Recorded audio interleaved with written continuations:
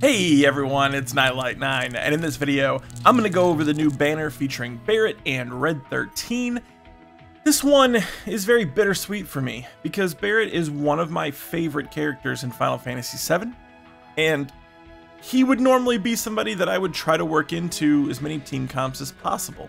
In fact, back when the game first came out, he was one of the first three characters that I maxed level on, because I wanted to use him as much as I could. However, he has been featured on less banners than any other character in the game. Uh, I guess minus Cait Sith at this point. And so therefore, you know, he just became less and less viable. Let's go over what he's got here and uh, and take a look and see what we got. So I'm going to start with what I normally start with, which is previewing uh, how it looks. And I'll say I think this is pretty good. It's pretty good. Uh, it's it's like trying to be kind of suave, but also still hard because it's Barret, and that's just kind of his personality. I uh, I think it's good. I mean, it's not my favorite looking costume generally speaking, but I do think that they've gone with a style that I could see Barret going with. It's not out of character for him, and so I uh, it gets my approval on that.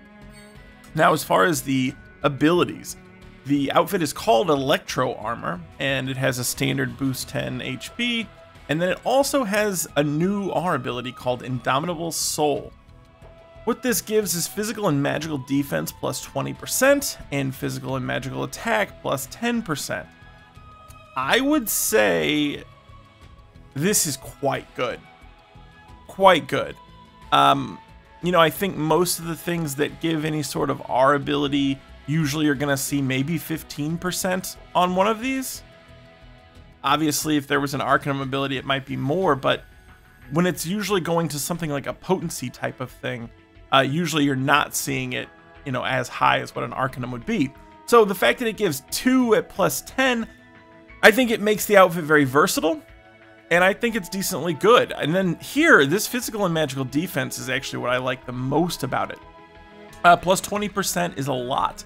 And I think it works well for Barret because of the role that I think he kind of plays. Uh, I would have normally pictured Barret as a damage dealer type unit, but he's not really.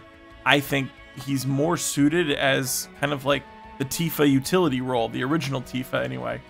Um, so because most of his stuff, like he can do the same things that Tifa can do with some of his weapons as far as debuffing enemies.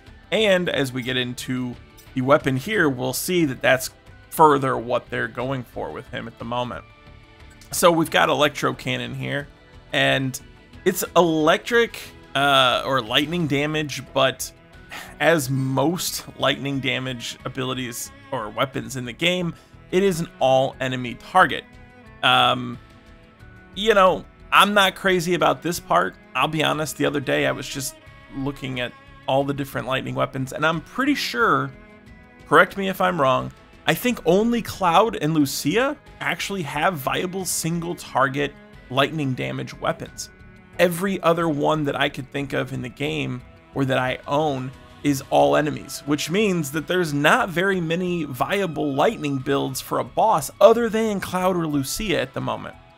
And so, you know, it's it's whatever. I think if this was more of like a single target lightning whatever, then it would you know, lend itself towards damage dealer. It's not. This is like Kuja Spirit Blade, basically.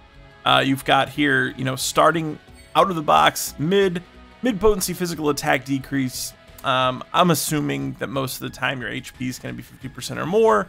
So it's also a mid potency magic attack decrease. And then starting at OB6, it stacks on the physical attack to high.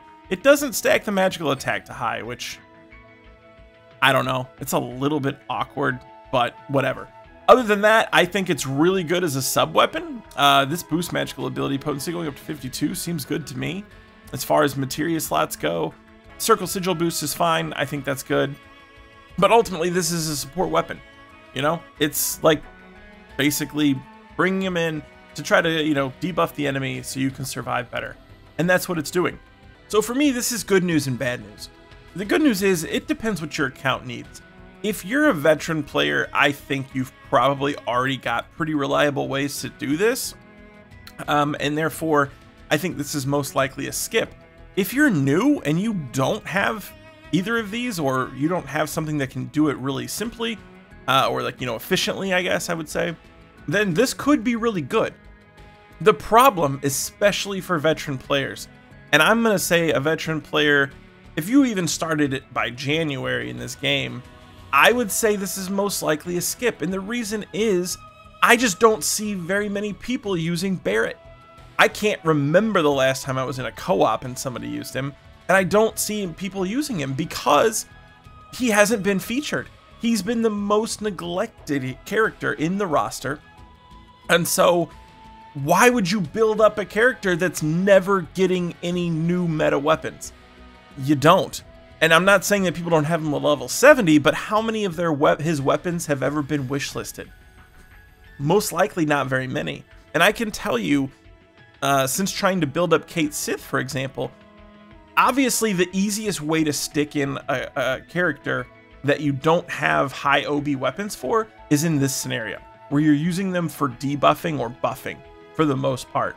Because damage dealers, they really rely on the higher OB weapons to actually increase the C ability, to increase these R abilities, you know, and really pump up their damage.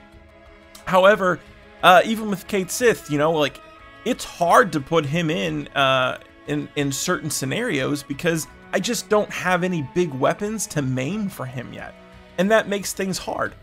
If you're free to play or a light spender and you don't have Barret built up by this point, and we're literally going into seven months into the game here, does it really make sense to turn around and start building him now because of one weapon and one outfit? I would say mo most likely no. No, it's not. Uh, if you're new, maybe, maybe, but their track record still hasn't been good for Barret. And so until I see him featured on like two more banners, I don't know if the if this is going to change anything. Are they going to feature him again, like let's say in the next month? If they don't, would you be kind of upset if you put your eggs in this basket? I think I personally would. Alright, so the other weapon that we've got here is for Red 13. He does not have an outfit on this banner, just the weapon. It's called Ivy Collar. And man, I will say, this weapon is really, really good. For, for a lot of reasons. Okay, so from just an R ability standpoint, uh, this boost attack number is really high. And I think, you know, the stronger we're getting now, even for free to play or light spender accounts, I mean, if you've been in here for a while, you're to have physical attack or magical attack, whatever main attribute you're using for your damage dealer. You're to be able to max those out, I would say, quite easily at this point. And so the next best way to start getting these damage dealing stats up is to start going for regular attack. And, and a weapon like this is pretty efficient as a sub weapon to do so. Uh, and then honestly, the boost ability potency, not bad. And especially on, you know, characters that you're trying to pump out a lot of damage with their uh, limit break or a summon, I mean, this could really uh, help. So I really like the R abilities on this weapon. This here is also freaking amazing. Uh, being able to get materia with the plus 30% damage, I always like those on weapons. The fact that this one has fire and ice, it, uh, wow, really, really good. Now, the best part about the weapon is fire resist and ice resist decrease. So it's got two breaches on it that even right, just one copy of this weapon is mid to high. That is insanely good. And then if you get it to OB6, you're just looking at high high. Now, what I like about this weapon and why I think it's so much better than Barret's, yes, debuffing is a big deal to stay alive, but sometimes you're in those race scenarios or you're trying to get enough damage in because as we've seen, doing a lot of damage a lot of times uh, can really make up for not having as good of defense. And so this is good to me because when it's necessary, when you're against enemies that have the ice or the fire, especially if they're, you know, resistant to the opposite one, right? So you have like they're like two enemies, one's strong against fire, weak against ice, and the other one's the opposite, or something like that. This really shines because of the versatility.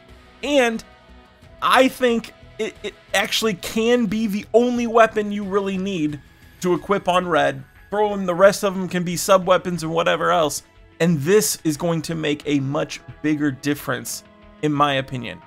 And there's no other way to do this this efficiently, right? Whereas with the weapon that we saw from Barret, uh, I think Cait Sith has a weapon that can do that.